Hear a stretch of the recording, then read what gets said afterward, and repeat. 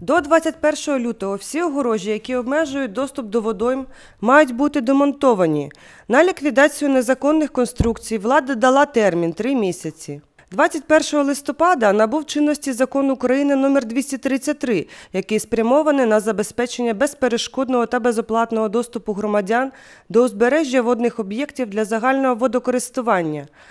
Отже, у прибережних захисних смугах забороняється влаштування огорож, парканів або інших конструкцій, що перешкоджають доступу громадян до берегів річок, водойм та островів, окрім випадків, передбачених законом.